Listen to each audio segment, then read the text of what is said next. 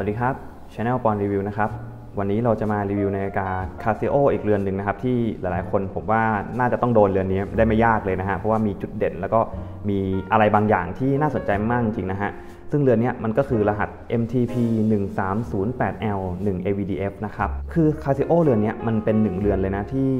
ผมเซอร์ไพรส์หลาย ๆ อย่างมาก ๆ เลยนะ อย่างแรกคือเรื่องของราคาพูดก่อนเลยนะครับ เพราะว่ามันเป็นเรือนที่ผมเห็นครั้งแรกเนี่ยผมก็โอเคคาซิโอราคามันก็ประมาณพันกว่าๆสองพันก็มีอะไรอย่างเงี้ยนะฮะคือถ้าเกิดรุ่นถูกๆเนี่ยหลักร้อยเนี่ยหน้าตามันก็จะดูแบบหลักร้อยเลยอะมันจะดูเห็นชัดเจน แล้วก็ดูไม่ได้เป็นวัสดุที่ดีมากนะครับ แต่เรือนเนี้ยมันเป็นเรือนที่ราคาต่ำกว่า 1,000 บาทนะครับ ซึ่งมันมีความเซอร์ไพรส์แล้วก็มีความแบบดูดีกว่าที่คิดมากๆเลยนะ ก็เดี๋ยวยังไงมาลง detail กันเลยดีกว่านะฮะ คือถ้าเกิดเรามองผ่านๆนะครับ หลายๆคนนะที่แบบเล่นนาฬิกาฝั่งสวิสมาเยอะๆนะครับอาจจะไปคุ้นๆกับบางเรือนอีกแล้วนะครับ เพราะว่าคาซิโอเนี่ยก็ชอบมาแนวนี้แหละหยิบยืมหรือว่ามี detail บางอย่างที่มันไปคล้ายๆกับสวิสแบรนด์ดังๆอะแต่เอาจริงมันไม่ได้ก๊อปมาเป๊ะนะครับ ซึ่งเรือนนี้มันไปคล้ายๆกับเรือนหนึ่งก็คือ Omega Constellation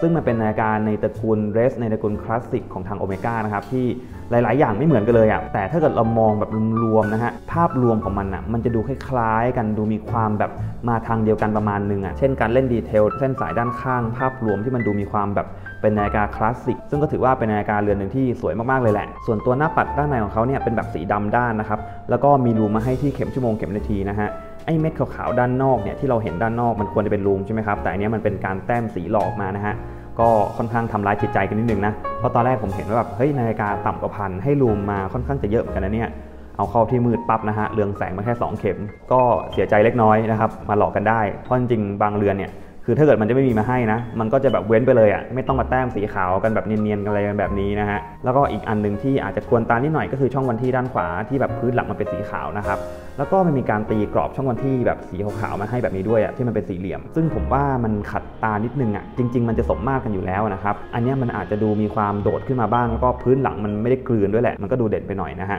ด้านล่างเนี่ยก็มีเขียนสเปคการกันน้ำไว้ให้นะครับ กันน้ำได้ 50 เมตร ส่วนกระจกของเขาเนี่ยก็กระจกสเปคธรรมดาเลยนะฮะตามราคานะที่มันไม่ได้แพงมากก็ไม่ได้มีการตัดแสงสะท้อนอะไรมามากเท่าไหร่นะครับ หมุนบางมุมเนี่ยก็ติดฝ้าเยอะใช้ได้เลย เข้าที่ร่มเนี่ยก็มีสะท้อนรอบๆมาบ้างนะครับ ไม่ได้ดู clear อะไรมาก ส่วนคุณภาพ marker ความคมความเงานี่ถือว่าโอเคนะฮะ ดูไม่ออกเลยว่าเป็นนาฬิการาคาแบบหลักไม่ถึงพันนะฟังก์ชันนาฬิกาแน่นอนว่าเป็นระบบคอร์สนะครับ ดึงมาทีนึงปรับวันที่ ดึงมาทีนึงก็ปรับเวลานะฮะ อันนี้ทั่วไปเลย แน่นอนว่าส่วนที่มันน่าจะเป็นจุดเด่นที่สุดของเรือนนี้ก็คือตัว bezel นี่แหละ เพราะว่า bezel ของเรือนนี้มันจะมีการเล่น detail เป็นเส้นๆมาแบบนี้นะฮะ ทั้งด้านซ้ายด้านขวาด้านบนด้านล่างเลยนะครับ ซึ่งมันก็เลยทำให้นาฬิกาเนี่ยมีจุดเด่น แล้วก็มันมีความคลาสสิก ดูมีความเป็นนาฬิกาที่แบบมีดีเทลอะ คือถ้าเกิดเราลองนึกภาพนะฮะว่าเรือนี้มันแบบเบเซลไม่ได้เป็นแบบนี้มันทำเบเซลมาเป็นขอบเรียบๆเลย มันจะเป็นนาฬิกาที่หน้าตาจืดมากๆเรือนหนึ่งเลยนะครับ แล้วก็แบบแทบจะไม่มีอะไรให้พูดถึงเลยนะ คือแบบเรียบเกินนะฮะ ด้านในก็แบบธรรมดาเลย ด้านนอก ถ้าเกิดมันเป็นเรียบๆอีก มันก็แบบธรรมดาสุดๆเลยอะ่ะแต่แค่มันมีการปาดดีเทลมาซ้ายขวาแบบนี้ผมว่ามันดูดีขึ้นมากๆเลยนะฮะ ซึ่งเอาจริงบอกตามตรงเลยนะฮะ ผมเห็นเรือนนี้ครั้งแรกในรูปก่อน พอเห็นรูปปั๊บเนี่ย แล้วก็เจอราคานะฮะ ผมก็เดาแล้วว่า เออ มันก็คงเป็นนาฬิกาที่ คงไม่ได้ดีอะไรมาก แล้วก็ตัวจริงก็คงแบบมาแบบเล็กๆอะ่ะดูไม่ได้สมส่วนดูไม่ได้แบบน่าใช้อะไรมากนะฮะพอไปเจอรีวิวต่างประเทศโดยบังเอิญอะเห็นว่าเฮ้ยมันแอบใหญ่ไปที่คิดนะเนี่ยแล้วก็ในการหมุนบางมุมอะมันมีการเล่นแสงที่โอเคเหมือนกันอะพอได้ของจริงมาก็แบบเออจริงด้วยนะฮะพวกขอบ bezel พวก detail รายละเอียดต่างๆเนี่ยมันดูดีกว่าที่คิดมากๆเลย แต่แน่นอนราคาประมาณอย่างเงี้ย มันก็จะไม่ได้เป็น stainless steel ทั้งก้อนนะครับ ดังนั้นเนี่ยเราจะเห็นความไม่เรียบร้อยที่แบบชัดเจนมากๆเลยตรง lug ตรงนี้นะฮะ มันจะมีการปัดลายเส้นมาที่แบบ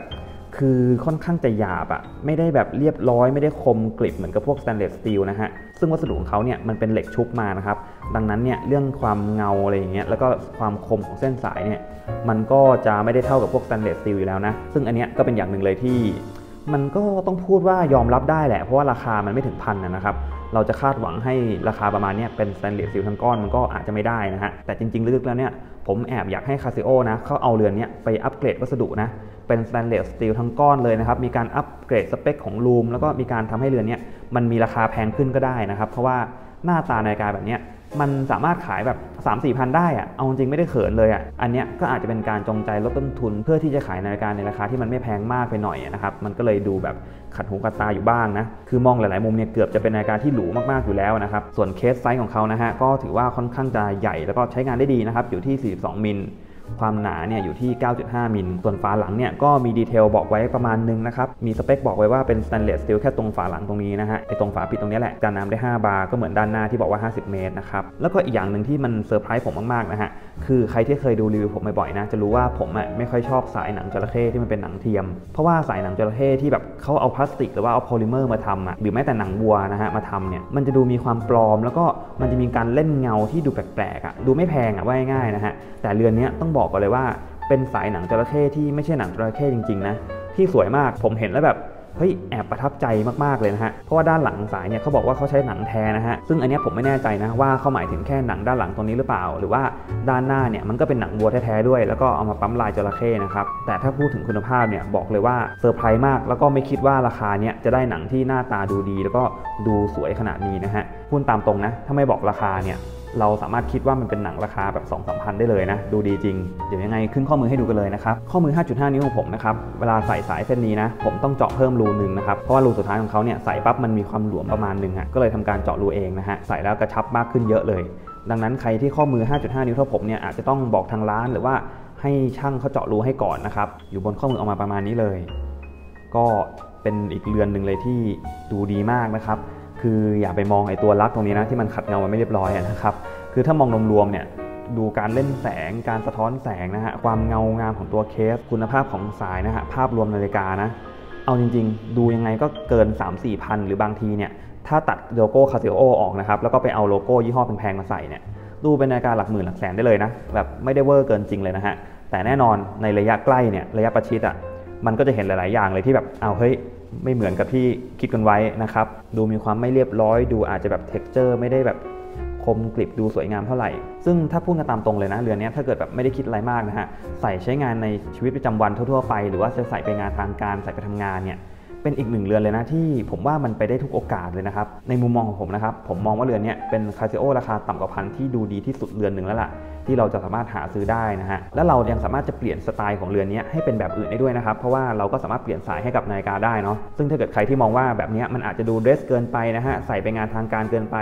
ใส่สายหนังจระเข้ไปออฟฟิศแล้วแบบเขินๆหน่อยนะครับก็เปลี่ยนเป็นสายอย่างอื่นได้นะ lug size ของเรือนนี้ก็อยู่ที่ 22 มิลนะครับ แล้วก็ lug to lug เนี่ยอยู่ที่ประมาณ 47 มิลปลายนะฮะ หรือว่าตัว lug เนี่ยมีความยืดออกมาประมาณนึงนะ แล้วก็ไซส์ค่อนข้างจะใหญ่หน่อย อันดับแรกเลยเนี่ยผมขอเริ่มจากสายยางก่อนนะฮะ คือมันก็จะเป็นการ up look ให้กับนาฬิกามันดูสปอร์ตมากขึ้นนะ อยู่บนข้อมือก็ประมาณนี้นะฮะ ถือว่าแบบมีความสปอร์ต มีความลุยมากขึ้นใช้ได้เลย ผมว่ามันก็เป็นคู่ที่ไปด้วยกันได้แบบงงๆเหมือนกันนะ คือหน้าตามันหรูมากนะฮะ แต่ว่าพอมาเจอสายสปอร์ตจัดๆแบบนี้มันก็เออไปได้เว้ย ใส่ไปทำงาน ใส่ไปเที่ยว ใส่ไปอะไรได้หมดเลยนะฮะ อันนี้โอเค สอบผ่านนะฮะ ใส่ใช้งานได้สะดวกดี ส่วนใครที่อยากให้เรือนนี้มันมีกลิ่นที่แบบแคชชวลมากขึ้น ใส่แบบ สบายชิลสุดๆนะครับ ยังไงผมก็แนะนำเป็นสายนาโต้เลยนะ ออกมาปั๊บเนี่ยเป็นแบบนี้เลยนะฮะ ก็ถือว่าโอเคเลยอะสวยงามใส่ขึ้นข้อมือให้ดูนะครับ แต่ยังไงต้องบอกก่อนนะว่าสายหลายๆเส้นที่ผมเอามาใส่ให้ดูในรีวิวนี้นะหลายเส้นราคาแพงกว่านาฬิกานะครับ ใครที่กะว่าจะซื้อนาฬิกามาก่อนนะฮะเห็นว่ามันถูกดีนะครับ แล้วก็เอามาเปลี่ยนสายนะ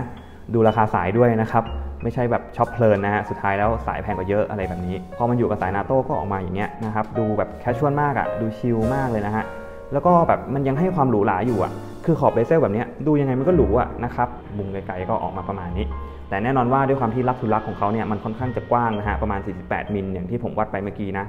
เวลาอยู่บนสายนาโต้เนี่ยมันก็อาจจะมีความกางมากกว่าสายทั่วไปนิดนึงนะครับเพราะว่ามันก็จะมีส่วนที่โค้งออกมาหน่อยๆอะไรแบบนี้ คือสำหรับคนข้อมือเล็กเนี่ยสายนาโต้อาจจะเหมาะกับนาฬิกาที่ลักทุลักมันแบบไม่เกิน 45มิลอะไรแบบนี้นะครับมันจะดูแบบไม่ยื่นมาเท่าไหร่ อันนี้ก็อาจจะยื่นไปนิดนึง แต่ก็สุดท้ายแล้วแต่ความชอบเลยนะฮะ ถ้าเกิดชอบก็ใส่ไปเลยครับ อย่าไปซีเรียสมากเดี๋ยวลองไปสายสุดท้ายให้ดูบ้าง เป็นสายเหล็กถักแบบเส้นใหญ่แบบนี้นะครับ อันนี้ยังไม่เคยเอามาลองใส่กันเลยนี้เลยนะครับ เรามาลุ้นไปพร้อม ๆ กันเลยดีกว่า ก็ถือว่าเอาเรื่องเลยนะฮะ สวยงามสะท้อนแสงแบบอลังการมากเลยนะฮะ คือนาฬิกาเนี่ยมันสะท้อนแสงเยอะอยู่แล้วนะ มาเจอสายที่แบบมันมีดีเทลการเล่นแสงแบบนี้เข้าไปอีกเนี่ย ผมว่าไปด้วยกันได้ค่อนข้างจะดีนะครับ เดี๋ยวลองขึ้นข้อมือดูเลยดีกว่านะฮะ เอาจริงตอนแรกก็แอบคิดว่าพอมันอยู่กับสายแบบสีเดียวกันกับตัวเรือนไม่ได้มีสีดำไม่ได้มีการตัดสีอะไรมาเนี่ย มันจะดูน่าเบื่อนะ แต่ว่าพอใส่ไปปั๊บเนี่ย เอ้ยไม่ค่อยน่าเบื่อนะ เอาจริงดูมีดีเทลดูมีลูกเล่นกว่าสายที่ผ่านๆมาได้ซ้ำนะครับ แต่สำหรับผมนะส่วนตัวผมแอบรู้สึกนิดหน่อยว่า